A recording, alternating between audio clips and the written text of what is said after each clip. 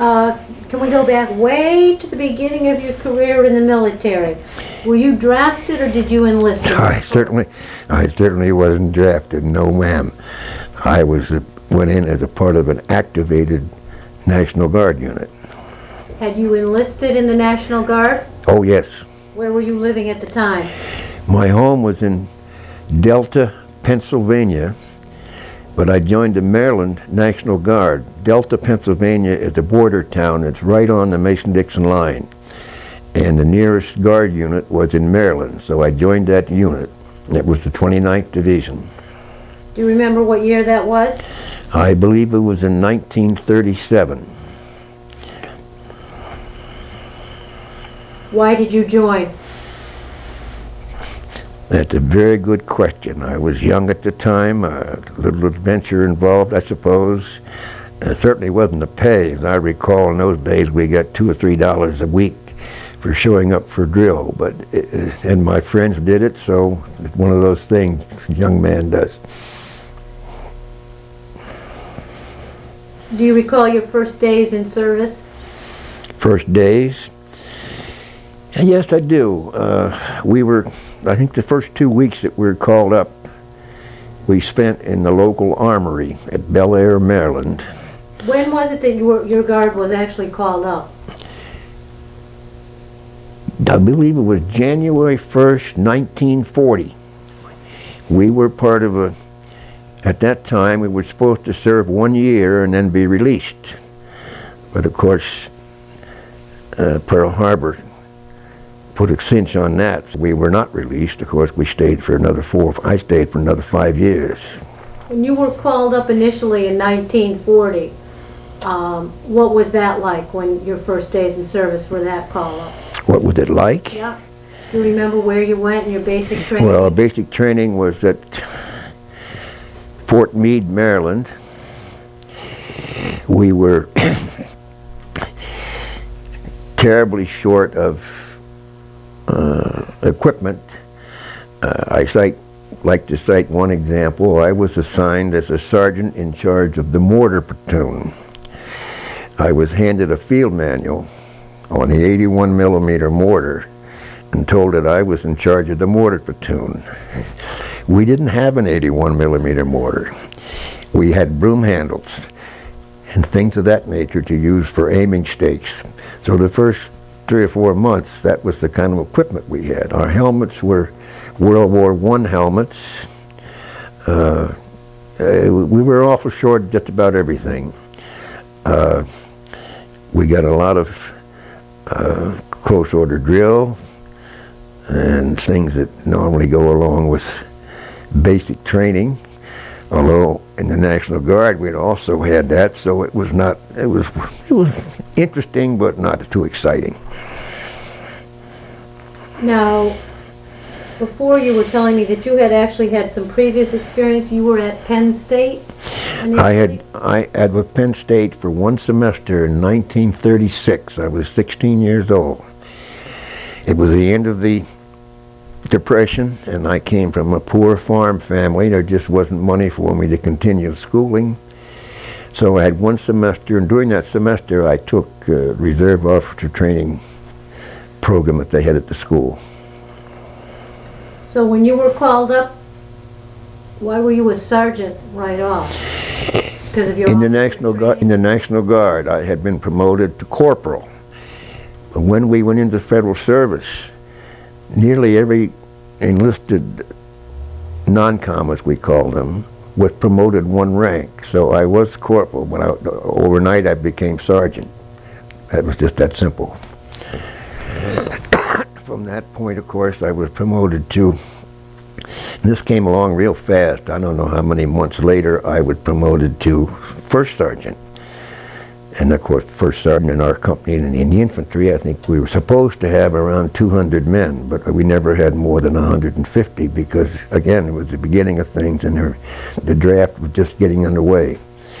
But then, as I, as I told you earlier, uh, I went off, I was taken out of the unit to go to Officer Candidate School.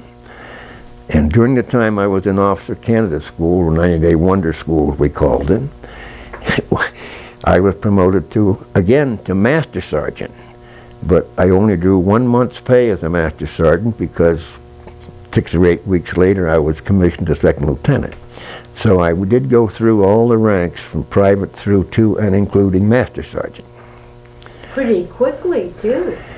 Well, I, I did what I was told, when I was told, and I insisted that those served under me do the same thing, and it worked.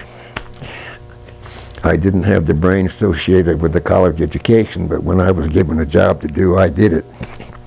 Where did you go to officer candidate school? Aberdeen, Maryland. How long were you at Fort Meade before you went to OCS? Well, it was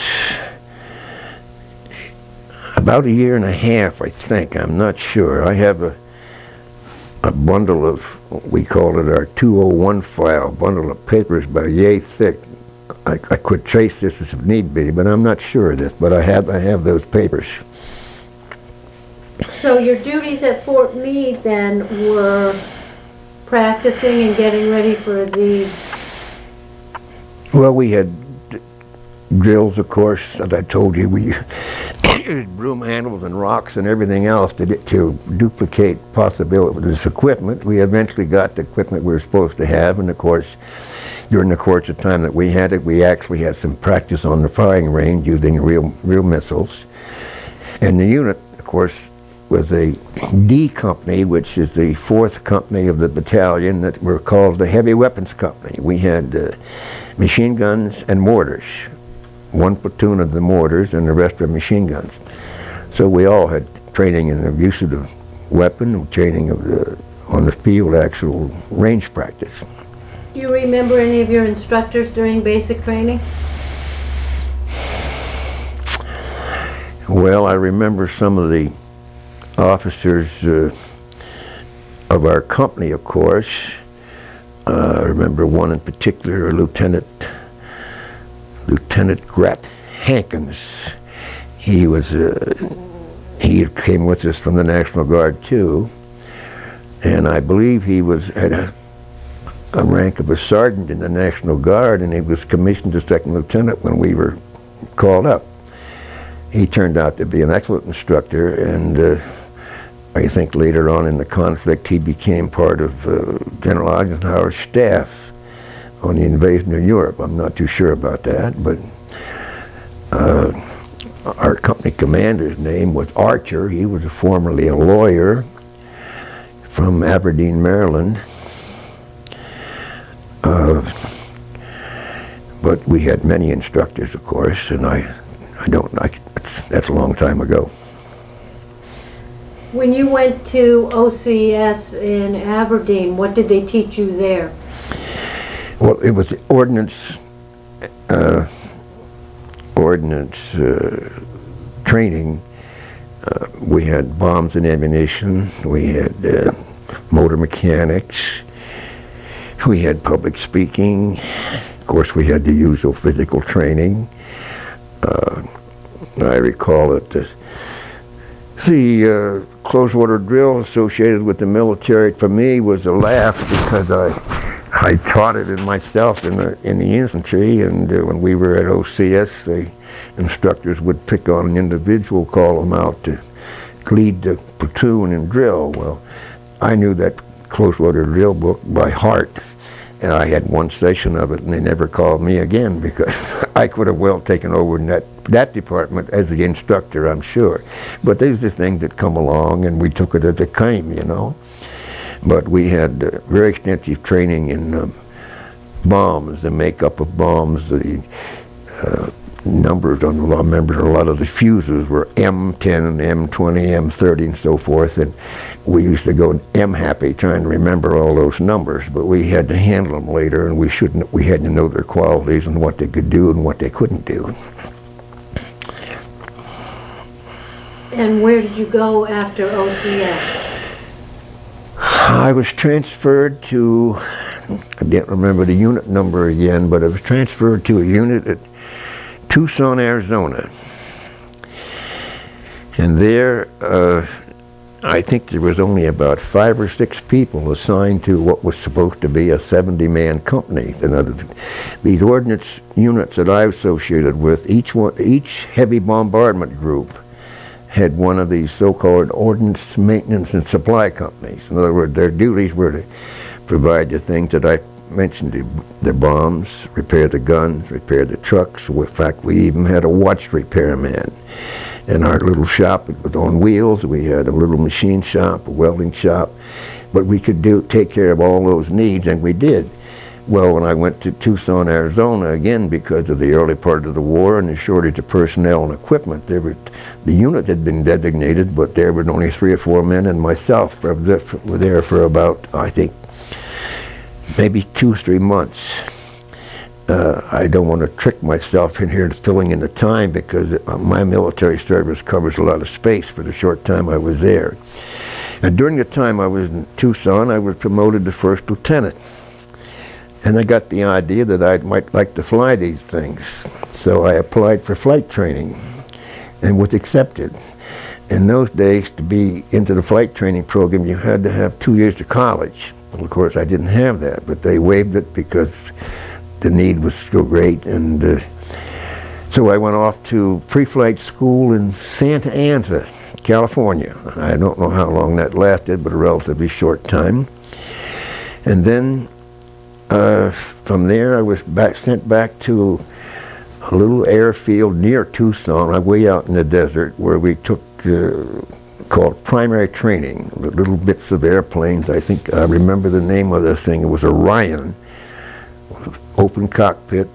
I think it was a five-cylinder. I remember the engines because those engines always intrigued me. It was the Kinner five-cylinder engine, and these uh, that was the very beginning of the flight training. And our instructors there were civilians. A two-place plane. I don't think I lasted more than about two or three weeks there because I just positively could not uh, get along with my civilian instructor uh, he insisted each morning that we line up and salute him.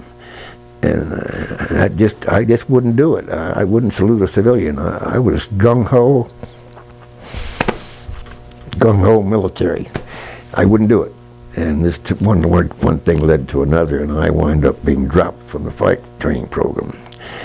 It didn't hurt my military career because I continued to be a first lieutenant and shortly after that, I was assigned to some kind of a research project that was uh initially in the B-24 airplane, I think it was, the waist gunners. They had a, they could slide a door open in the side of the plane, and if if they weren't careful, they'd hit their own wingtips with a machine gun.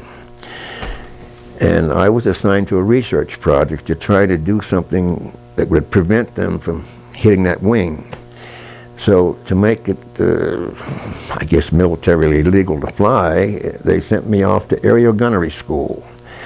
And I was there for, I think, three or four weeks, and I was, was given... that still in Tucson, Arizona? That was in Las Vegas, Nevada.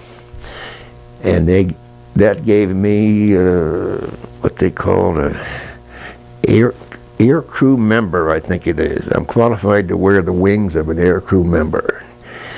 And here again, you, you we've it was it was a child's play for me because uh, in the infantry I knew but used to know every name, every part in that machine gun. And the aircraft machine guns are basically the same.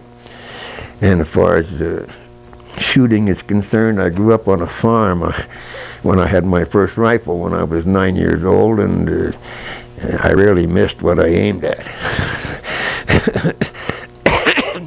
in any event, then from that point on, I was sent, I believe, to Venice, Florida. And again, I was given command of a, a company which comprised two or three enlisted men and a tent full of equipment. These things were all forming at the time. There was no... Uh, you know, the war had not broken out officially? The war had broken out, but we just didn't have the people and equipment to provide all this overnight. But the, the administration part of it had already set up. The companies were designated. From there, I transferred, went on from there to Italy, and I spent, uh, I don't know, 20, 23 months, I think it was 23 months, in Italy. Do you remember the uh, time frame on that? I well, we couldn't kind of figure it backwards. I was officially, I was home December, latter part of December 1945, and I was about 21 months over there. And there, of course, I served in the capacity of the company commander of this unit that served uh, uh, the heavy bomb group. I don't forgotten the designation on the bomb group, but then again, this 201 file that I have would would give, give that.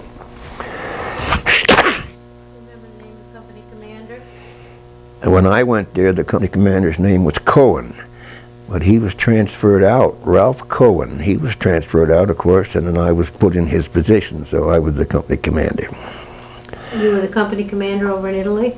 in Italy. Yes, Do you know where that was located in Italy? we were located near Foggia. Foggia was, I believe, it's sort of it's more or less, it's not in really in the south. I'd say it's a little south of the the mid half of the of uh, Italy, and there were several airfields around Foggia. There was Did one. we have a, a United States base there, or did we just use their, Well, of course, the Germans had been pushed out a short time before, but Fo- Foggia had a main airport, and then there were several satellite airports around. So we, our, our people moved in and, of course, took over. Foger, F-O-G-E-R? F O G G I A.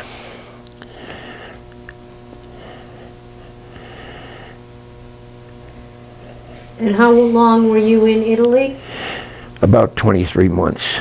That's a long time. What, what was your job assignment there?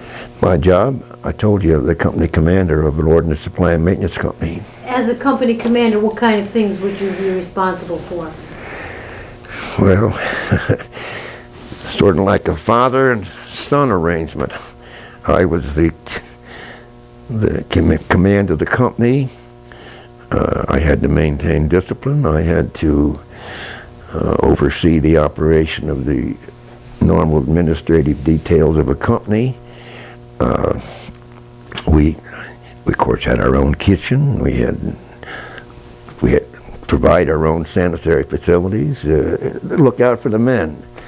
And when I use the word men, I, I'd like to change that a little bit. Uh, I think over the, over the years, none of us were men. We were all boys, and I quote Brokaw on that. We just thought we were men. And uh, during the time we were there, I lost one man. Uh, his death was not uh, combat related. And uh, aside from that, I didn't. We had no particular uh, health problems or any any any particular real problems. I had few disciplinary problems. Uh, I was, of course, involved in censoring letters and things of that nature. I remember a couple of times I had to administer company punishment because of someone trying to send word home that they were in such a spot. Typical kid stuff. I mean, they were. I didn't consider them to be any enemy aliens or anything, any such thing, but we had regulations, and you were not allowed to tell, write home and say I'm in such and such a spot. I remember this one case. I called the man, young man in, and pointed out to him that that couldn't go and he would have to be punished for it. Well, his punishment was changing truck tires for a week. Uh, it didn't hurt him, but it, it let him know and the others around him that we did mean business when we said something. And of course, this, uh, you know, to be a, a commanding officer, you have to be, uh,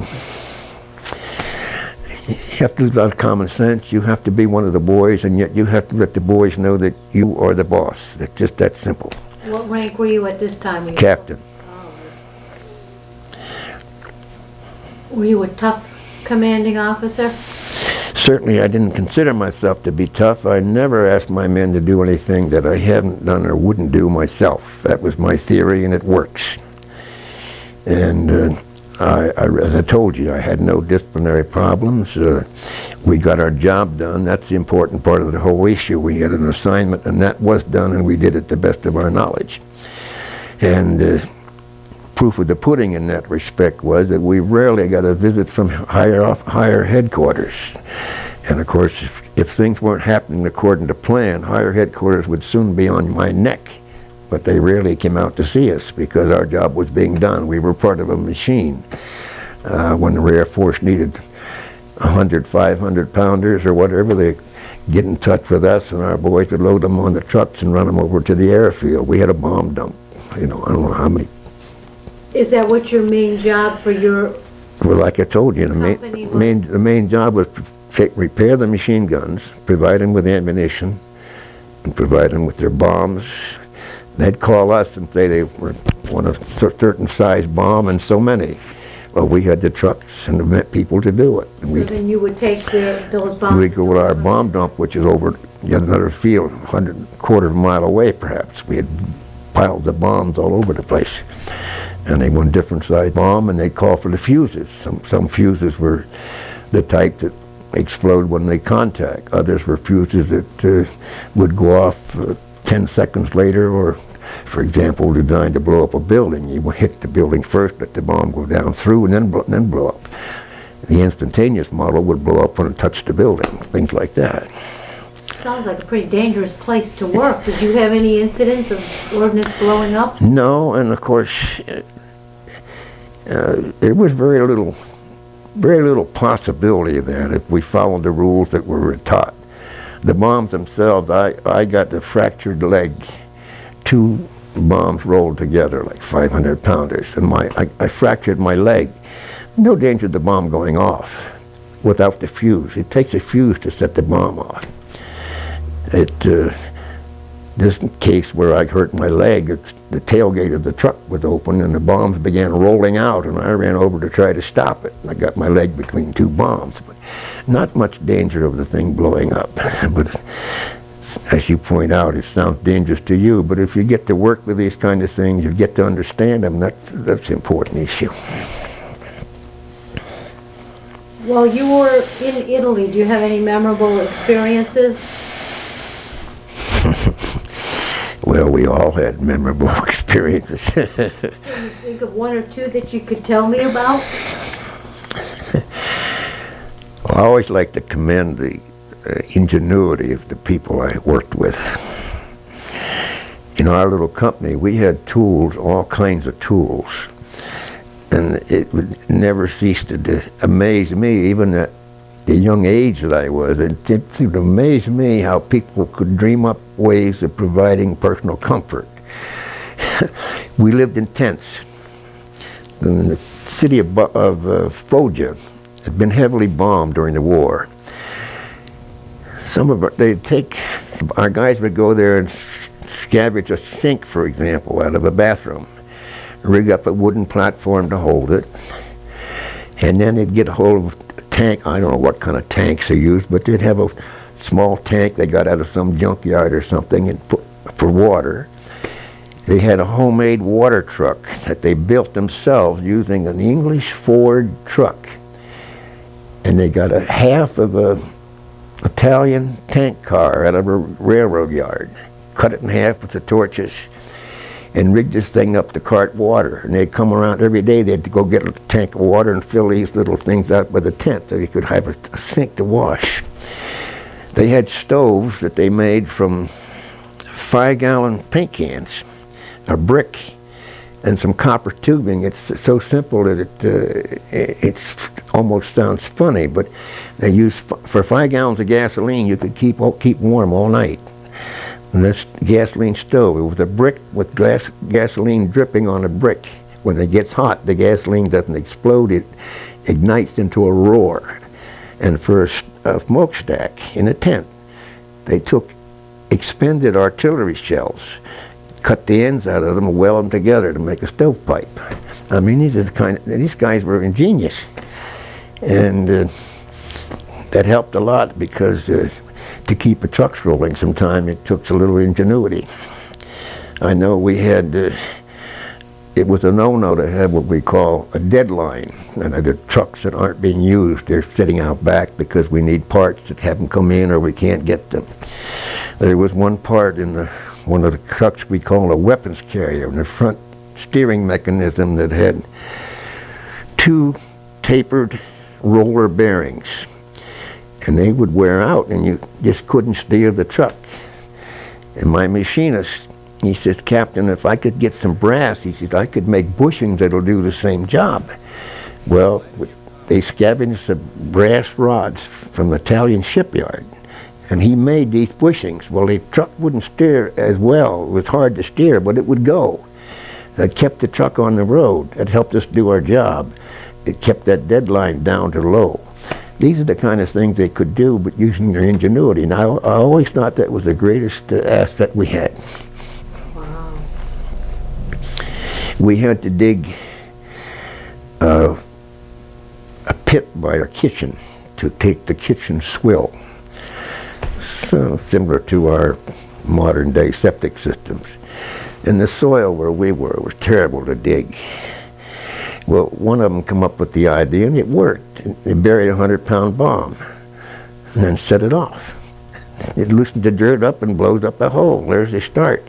I mean, you give them the give them the tool, they'll find a way out. Very resourceful. uh, let me back up for a minute. Where were you when Pearl Harbor was hit? Do you remember where you yes, were? I definitely do. I was at Fort Meade, Maryland, hoping to go home in two weeks. That was the, at the end of our initial one-year call-up period. And do you remember your feelings at the time when you and how you heard about Pearl Harbor? Well, first of all, I don't think I even knew Pearl Harbor existed. I it just uh, it was a name. That's all. Uh, how I felt at the time. You're talking 60 plus years. I don't know, dear. How did Pearl Harbor change your plans? Obviously, you didn't leave the service then. You were going to go home in two weeks. Well, I was scared. I was scheduled to be released in two weeks, but uh, I mentioned earlier I was a gung ho uh, soldier. I, right now, I'm ready to go to. Did you just stay right on? Did you get any leave? Oh, I know. I didn't get any leave. I didn't get any official leave in four and a half years. When I was released from the service, I think I got 90, 120 days. I was work. I came home from the service the very end of December, and I came to Hartford on, I believe, a Thursday. I got a job on Friday, bought working clothes on the weekend, and went to work Monday morning. And I got paid for four months military pay while I was working because this is accrued leave that we were entitled to. I had several what they call uh, delay en routes, that all that moving around. I would get orders and I have them in that 201 file. I would be sent to a certain location, but I'd be given two weeks to get there. It might take two days. So the rest of it you could do as my wish. A couple of times I managed to get swing home and stay a couple of days and still re reach my appointed destination, uh, military designation. When you were in Italy, did you get to see any parts of Italy? Oh yes, uh, I was in Rome. Uh, sightseeing on a so-called rest leave. This is after the war was officially over. Because again, to be released to send home, they had a point system that was based on uh, one of the big way of accumulating points. more points you had, the sooner you were sent home. Well, the Air Force boys that uh, flew the planes, every time they were involved in a, a, a combat setup, uh, they'd get a battle star, battle star for certain battles. Each one of those counted, I think, five points. Well, of course, I never left that location, and I, I, I only had one battle star. I was given credit for the Battle of Rome, the Rome-Arno campaign. But they would build up these big points, so uh, gradually we were sent home on that basis. So I was over there. I think the Japs uh, surrendered on around the 19th of August, and I didn't get home until December. And I was, uh, uh, reached a point in my company, had sent my men home was myself and one sergeant left in the company. I mean, this is how, how they were breaking things down. But, uh, but the boys that flew the airplanes, the ones that did the actual flying, got these battle stars, and so did the ground crew because their unit got the thing. Well, I always thought that was an unfair arrangement because the guy that was up in the airplane being shot at, he deserved the battle star. But the guy who was down on the ground uh, cutting the grass didn't really, shouldn't have it, you know. But you can't have everything. Where were you when you heard about the end of the war?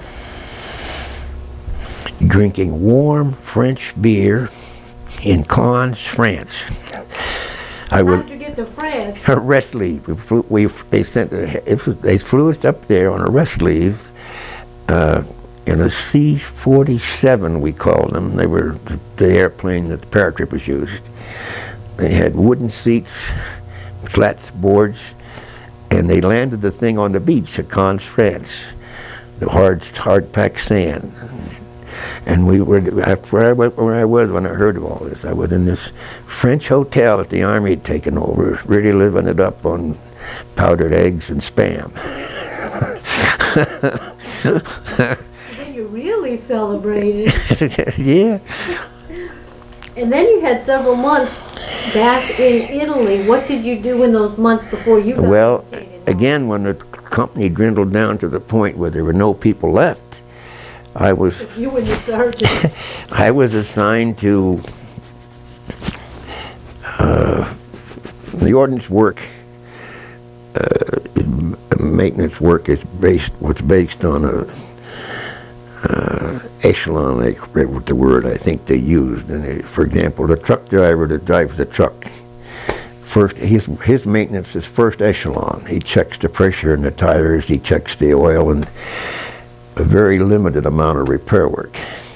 The next stage was uh, a little bit more complicated. We were what they called third echelon. We, our job was to do unit replacement.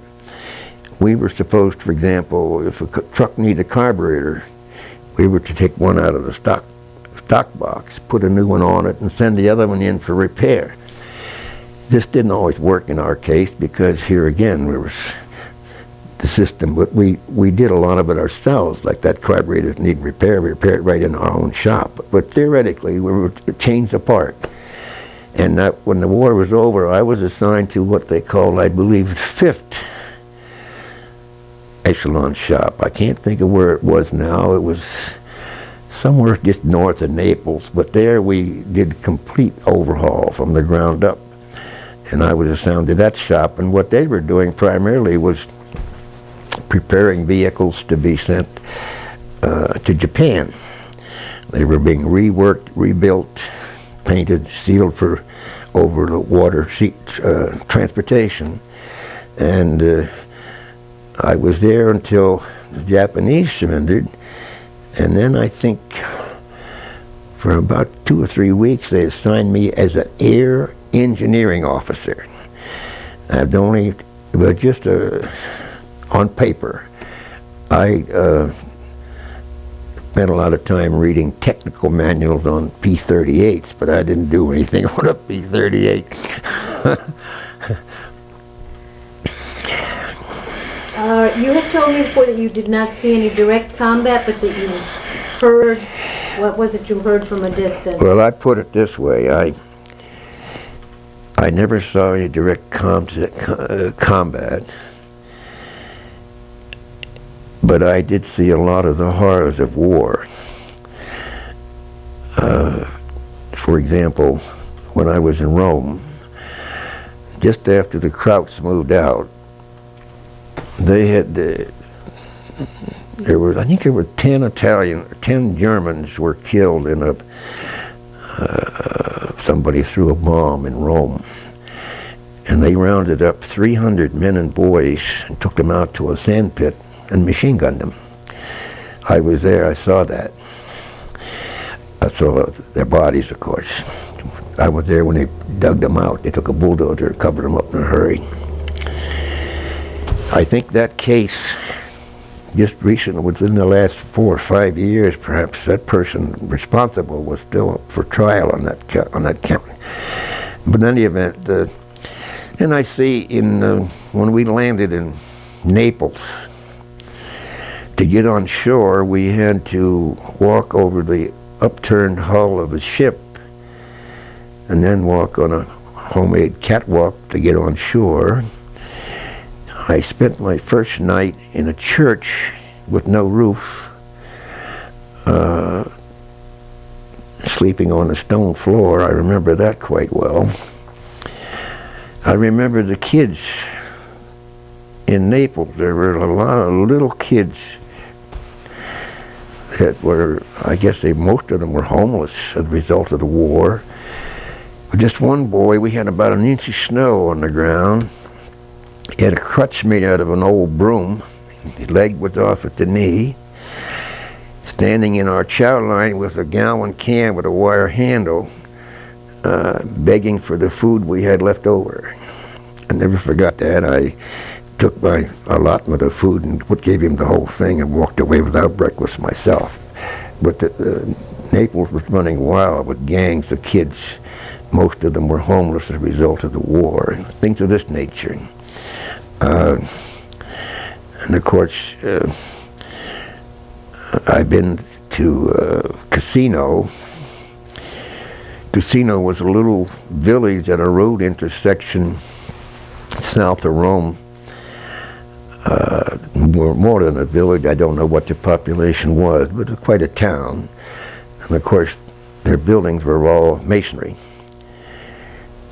But one of the biggest battles of Italy was fought at Cassino. We were, our, that's the battle that I got the battle star for, and that's the place that I got to see right after the fighting. When they broke through, our boys broke through there, the next stop was Rome. But uh, up on the mountain above Cassino was a monastery that dates back way back in history. I don't know, year 1100 or something like that. The top of the mountain was a monastery. The Germans utilized that area for uh, gun emplacements and for uh, observation purposes, and they made it almost impossible to to take the thing. It, it eventually was taken by frontal attacks, but it was the repeated attacks that a lot of boys died there. And uh, the town itself just didn't exist. It looked like a pile of rubble that you might see at the city dump after all this shelling. Earlier, you told me you didn't get any medals or citations, but you asked to get that battle star. Is that considered a Well, if you were if if you were in an area designated as an a battle area, you were entitled to the battle star, whether you were pushing the bayonet or whether you were cooking the pancakes. In my case, I was cooking the pancakes. And that was for the Battle of Cassino? That was the, the, the battle star was what they called the Rome Arno campaign, and that included the the, the, the town I referred to, Cassino. Arno, A-R-N-O? I believe so. It's the name of a river in uh, Italy. See, our troops landed at Anzio. That's up the coast from Naples, and fought their way into the center of the country at this road intersection with the main route into Rome. And of course, Rome was the, the uh, I believe General Mark Clark was in charge of the affair. That was the uh, idea, was to get to Rome.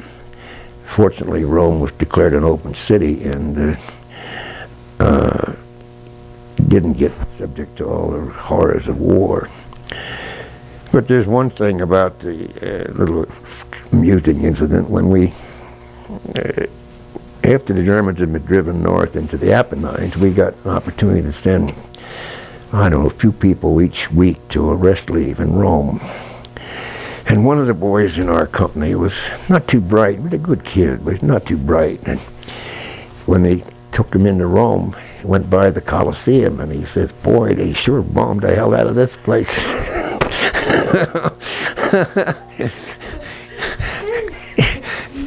Did you get any of your leave time in Rome? huh? Did you get a turn at getting some leave time in Rome too?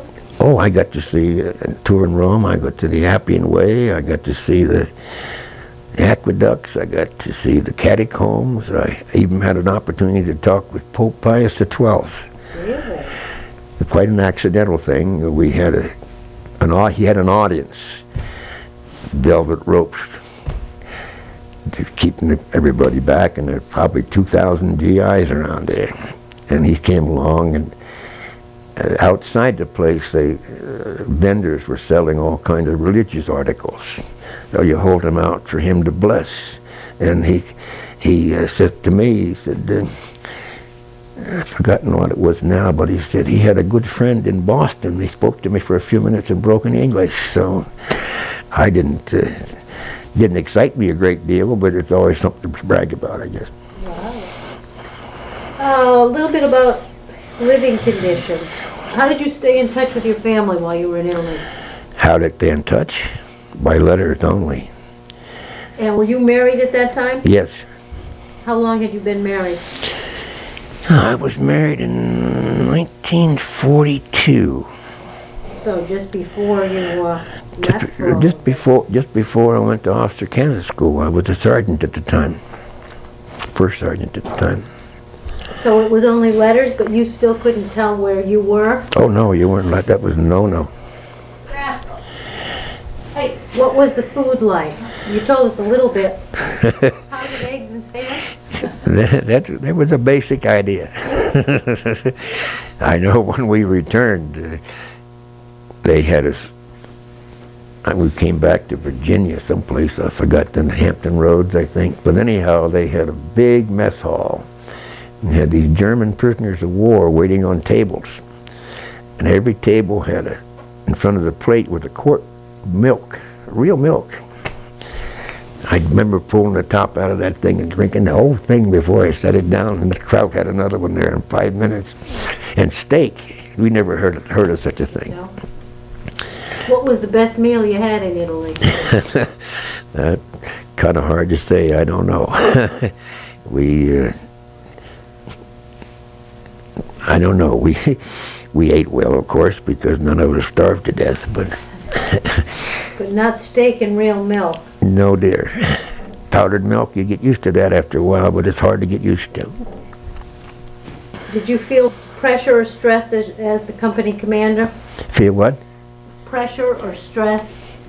Or you just considered it as part of Well, I don't know. I was too young to feel stress.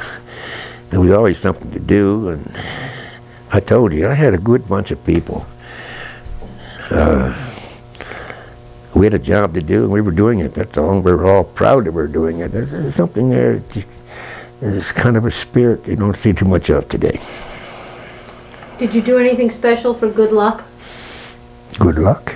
You know, like rabbit foot or No, we. Uh, I don't know what you mean by good luck. I used to play quite a lot of blackjack, but I never had any luck. what did people do for entertainment? Uh, card games, we had. Uh, I think we had a radio. Yeah, the Army East is a radio. See, we've had power problems over there because uh, uh, voltage changed constantly. But we had a radio that had a series of places you could plug it in, like a hundred. You could plug it in for 90 volts or 100 volts or whatever. If it wasn't coming in properly, you try a different setting. We had that thing, and that was uh, one source. We had, uh, weather permitting, we had uh, athletic equipment for baseball, horseshoes. Uh, I remember, again, after the war was over, I used to let part of the guys go to the beach with a truck. They take the truck and, and the portable kitchen unit, some ammunition, some rifles, have target practice in the surf, things like that. We had ammunition to throw at the cat after the war was over. Guys used to take the 500 rounds down to the beach with their rifles, throw milk cans in the water and shoot at them, you know, just, just for something to do. Did you stay in touch with any of the fellow soldiers or officers after the war? I did with this one sergeant with, that I, my friend in back in the infantry. And he's the one that kept me posted on what happened at Omaha Beach. Do you remember his name? I, his name was Robert Wilson, Robert C. Wilson. And I kept in touch with him for quite a few years and uh, lost count of him. I don't know. I tried recently, tried to locate him. One of my friends is pretty good on the computer, but didn't no luck. Of course, it, I thought he's passed on by now, I guess. But uh, he was, he was my uh, assistant when I was uh, platoon sergeant with the mortars. And a very good soldier. He very spit and polish.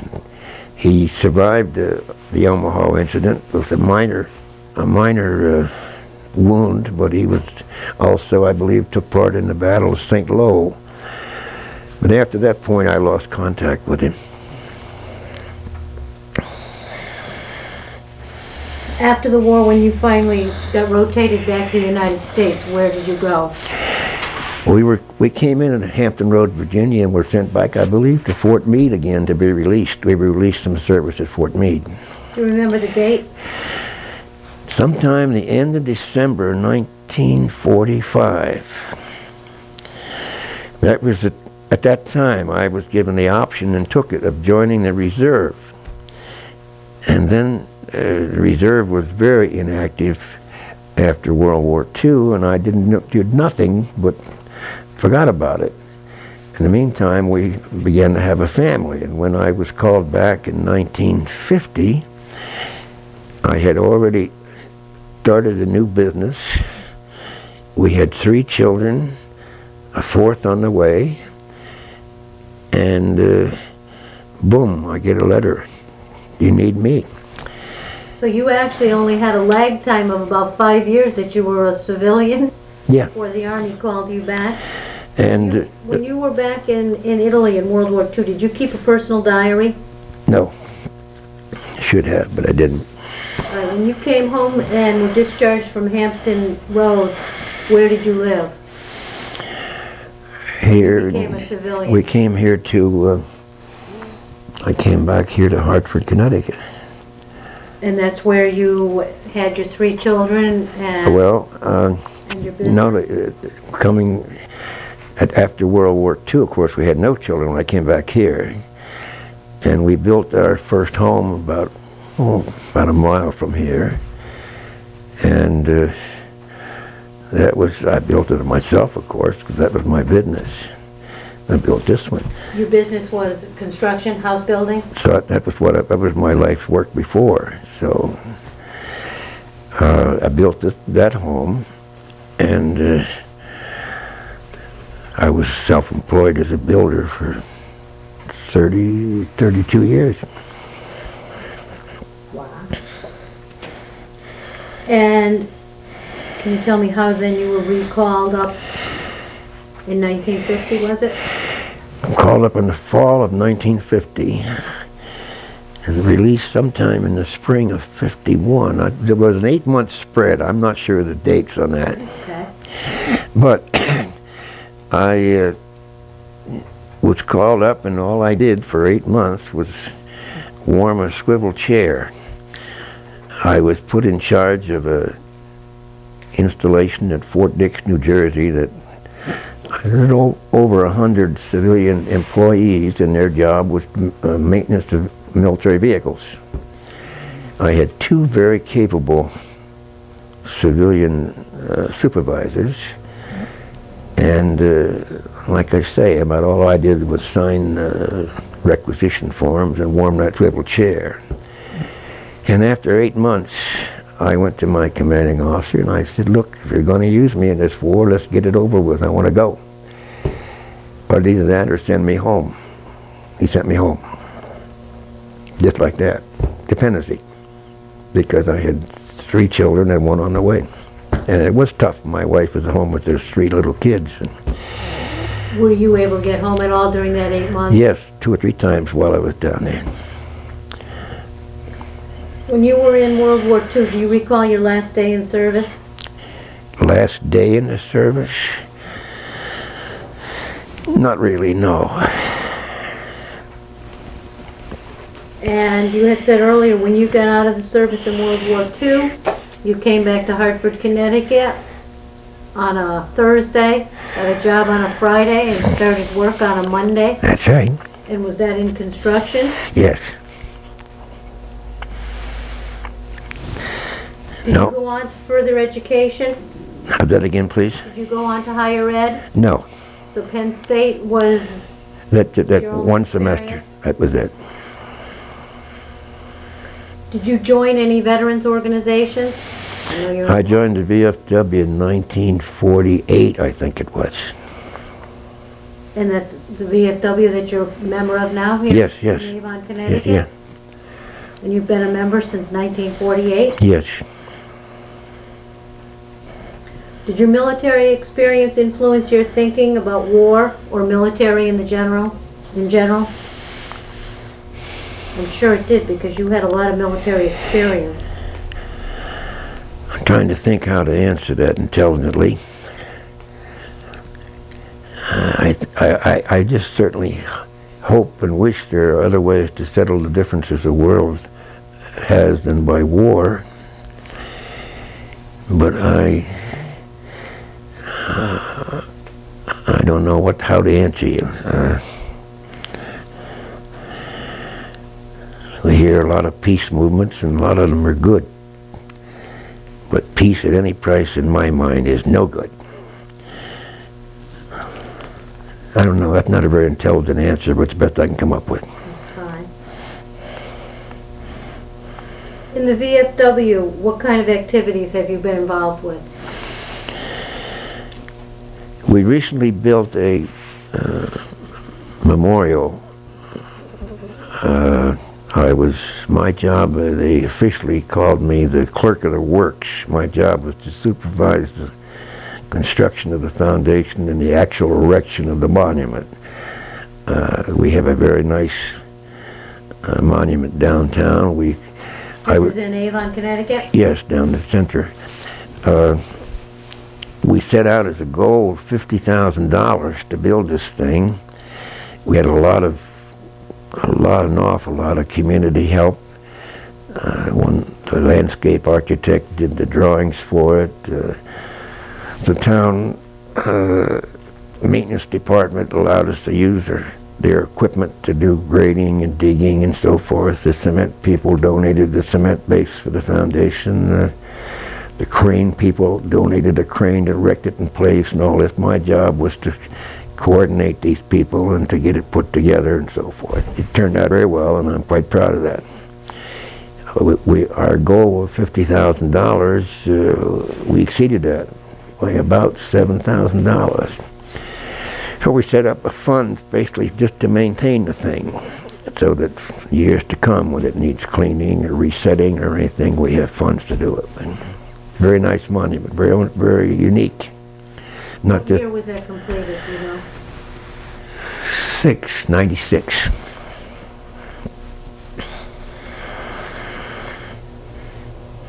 Do you attend any reunions? No, How did your service and experiences affect your life?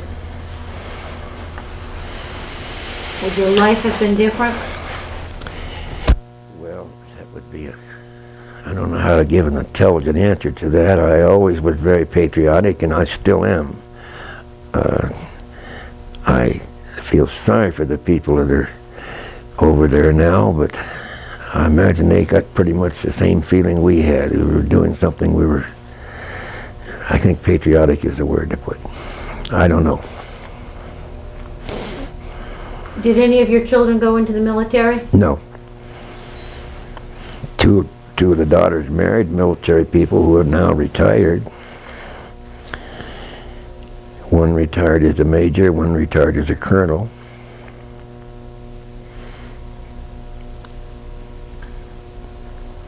For children, how many girls and how many boys did you have? Three girls and a boy.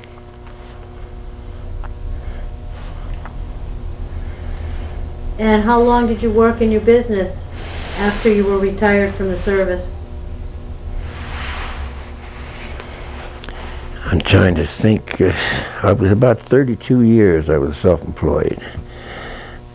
I never had more than three or four employees, and I worked with them every day. Uh, one unique part of my work was that I worked all those years and never signed a contract. You never signed a contract? Shake hands and go to work. I built some nice homes. I had nice people to work for. And you never got burned? Hmm? You never got burned by any of them? I've got burned, yes, but not, not seriously. But after I gave that up, I took up inspecting homes for people who are buying homes. That was before we had licensed inspectors.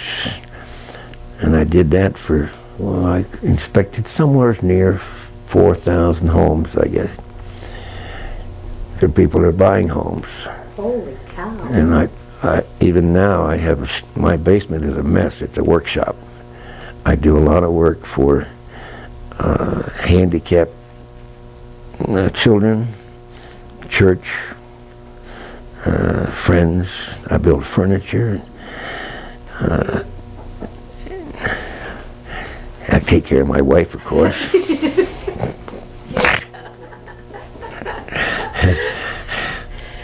But you're officially retired? I don't like to say that. I like to keep busy. Have you gone back to Italy or any of the places where you Yes, I, yes, we've been back to Italy. Uh, in modern times? Yes, I don't know how long ago, but uh, the two girls, their husbands, I told you, were both military. We went to visit in Germany, and they drove us in the car down to Italy. We were at uh, Venice, Bologna. I don't know. But anyhow, I've been back to Italy. Not to the part that I was in, though. We were back in northern Italy. I was in central and southern Italy. So you haven't seen that place that you served at? I was impressed when we landed in Italy. I told you about that boat bit, but also sending two big signboards up in the Naples harbor. One said Singer Sewing Machine and the other said Bayer Aspirin. In English. Is there anything else that you'd like to add that we have not covered? I think you've done a thorough job. I have nothing else to add. Well, I'd like to thank you very much, Charles, for your time and your service.